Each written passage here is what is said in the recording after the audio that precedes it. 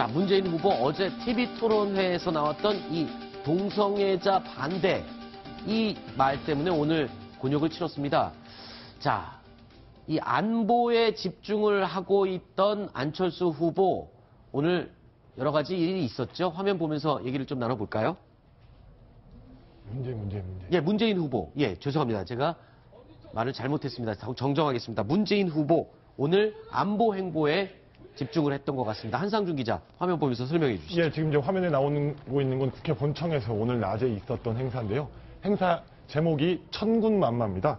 말 그대로 국방안보 분야에 종사했던 인사들 천명이 문재인 후보를 지지하는 선언을 한 건데요. 말 그대로 안보 국방에서 자신이 적임자라는 걸 강조하기 위한 포석입니다. 그리고 이 행사가 끝난 뒤 아까 앞서 이정훈 위원도 소개하셨던 오늘 통합화력경멸 행사 참관으로 바로 이동을 했습니다.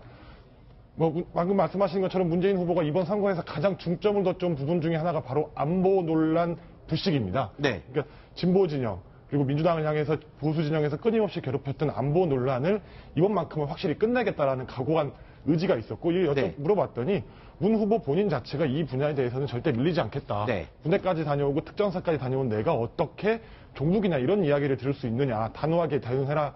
라고 지시를 했고 이에 맞춰서 다양한 행사를 준비했습니다. 그리고 네. 뭐 얼마 전에 이르지만 자기 본인 입으로 직접 한반도에 참화가 일어나면 일어나면 안 되겠지만 네. 직접 가장 먼저 총을 들고 나가겠다라고 네. 말한 것도 그런 안보 부- 불안을 떨어내기 위한 그런 행보로 보여집니다. 그렇군요.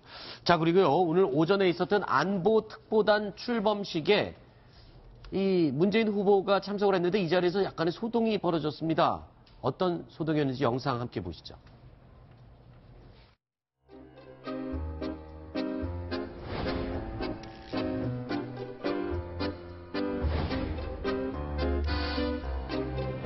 문재인 후보께서 동성애 반대한다 이렇게 이야기를 하시다가 순간 좀 충격받았어요. 동성애나 성적 지향은 그것은 찬성하거나 반대할 문제가 아니라 그 사람의 정체성이죠. 어, 이 TV를 보고 계신 많은 그 성소수자들이 너무 슬퍼할까봐 제가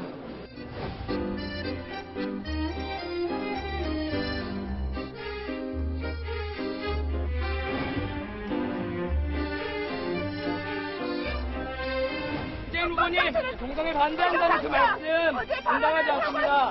누구세요? 동성애 반대하신다면 제 존재에 제 존재에 반대하시는 것입니까? 사람이 먼저다라고 하셨던 문재인 후보님 동성애자한 사람 아닙니까? 자, 이현수 기자. 그러니까 성소수자 문제에 대해서 문재인 후보에 대한 정확한 입장이 뭡니까? 그 동성혼의 합 그는 합법화에는 반대하지만 그것 때문에 차별이 있어서는 안 된다 이런 약간 모호한 애매한 말 아닙니까? 이게 앞뒤가 좀 안. 맞는 것 같은데요. 네네 그래서 이제 정의당에서는 그게 앞뒤가 안 맞는 말을 하고 있는데 그 뭐 무슨 말이냐 뭐 이렇게 하는데 하여튼 뭐 제가 생각하기에는 이 어, 생각은 좀 다르다 하지만 뭐 차별은 하진 않겠다 이런 정도로 해석을 해석이 되는 상황이거든요. 그렇군요.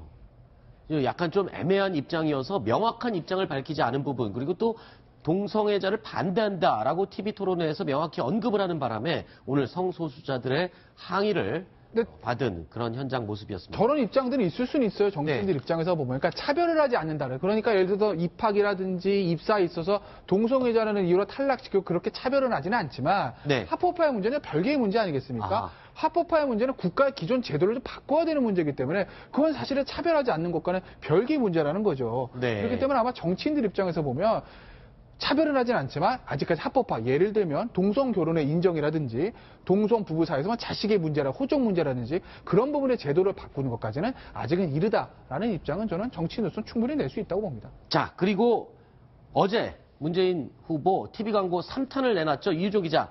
내용 간단하게 설명을 해주시죠. 네, 감성 마케팅을 하고 있는 문재인 후보 이번에도 1분짜리 영상으로 문재인을 바칩니다. 이런 동영상을 내놓았습니다. 네. 국민과 소통하는 눈, 행동하는 두 발, 그리고 먼저 손을 건네겠다. 그리고 듬직한 득, 그리고 국민을 끌어안는 가슴을 가지겠다. 이런 얘기를 하면서 1탄, 1탄에서는 이런 얘기를 했었죠. 희망의 대한민국. 2탄에서는 세월호 참사 3주기 영상을 공- 공개했습니다. 이런 것들을 가면서 감성 마케팅을 계속 이어가고 있습니다. 네. 네. 3차 TV 광고 문재인 후보의 TV 광고 내용까지 마지막으로 살펴봤고요. 10가지 소식 이렇게 해서 다 모두 전해드렸습니다.